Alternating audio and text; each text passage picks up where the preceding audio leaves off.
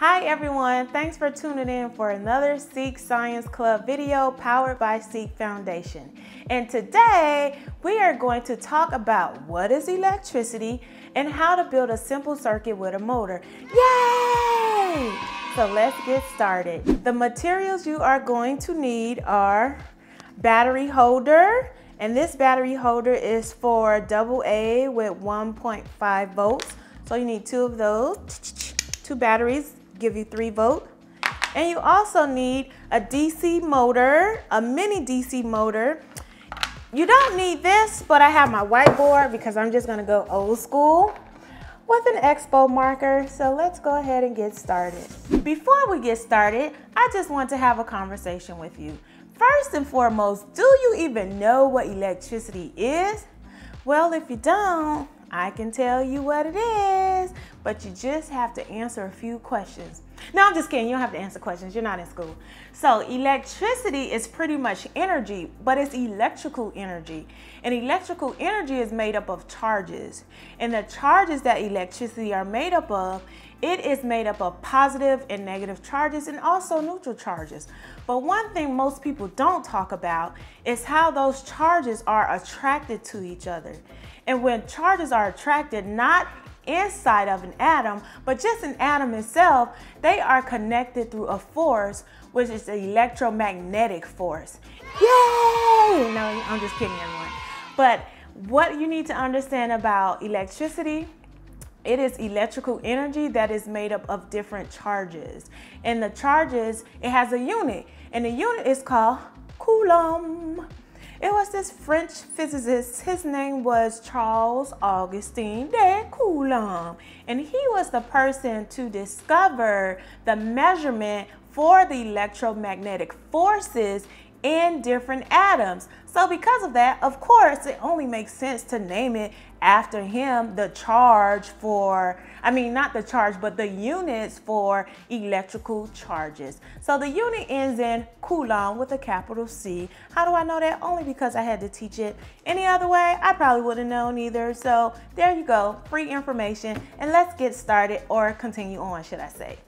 So step number one, we are going to create a simple circuit. It normally is done with a mini light bulb, but I don't have a light bulb right now. So I do have a motor and I also have a battery holder with a battery. So I'm gonna put the batteries inside the holder and also connect the mini motor so that you can see if it actually worked to make a simple circuit. The first thing I did, I used the battery holder and I put the two AA batteries inside and the battery holder will actually prompt you which direction to put your battery. Next, there are two ports on here. I am going to add this uh, from each wire. You notice that you have a red wire, you have a negative wire, and these wires will stand for either it's positive or negative. So I will connect it to the two ports and if this battery has energy in it, then it should be able to turn this um, this motor, the, the motor on the inside, this should start to turn and you should hear some noise. So let's go ahead to see if this is going to actually work. You hear that? So I'm gonna take it off. So now we have a simple circuit.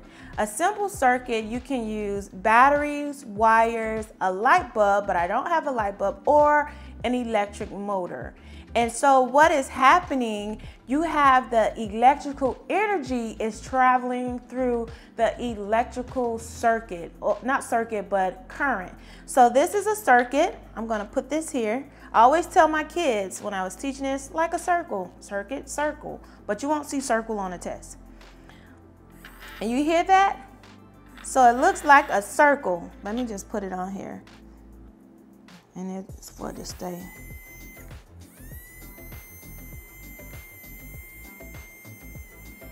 All right, so this is a circuit.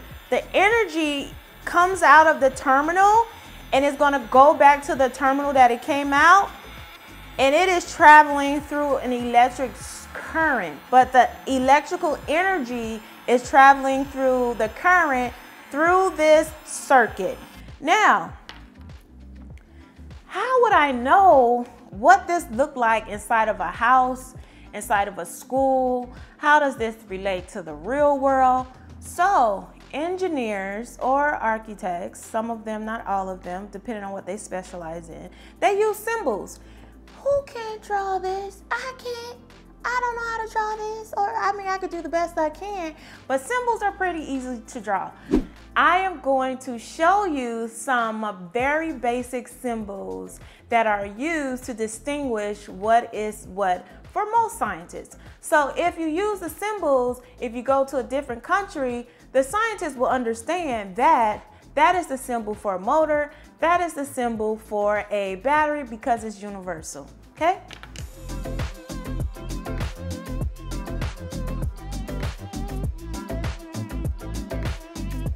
All right, everybody, so here you have it. These are basic symbols that are recognizable to um, those who are in the field of science, especially especially electrician, electricians. Huh, calm down, Enike. And I'm going to draw the simple circuit using these symbols so that you can see exactly how it will look. So this is the motor, a small DC motor. This is our battery here. And then straight line with the two dots on the side will represent the wires, okay? So let's go ahead and draw a simple circuit and then I will show you the aftermath. So here is my electrical diagram. That's what it's called. So electrical diagram of a simple circuit with my motor.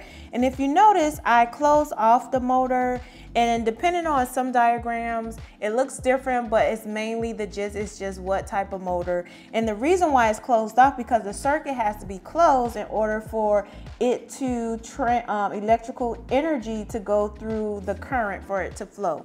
And so if someone is reading this or looking at this that understands electricity, they would know that this is my battery here this is my motor and these lines are my wires, all right? So that's all for today and hopefully you learned something about simple circuit. You know that it requires wires, it has an electrical charge with the unit of Coulomb because of the French physicist named Charles.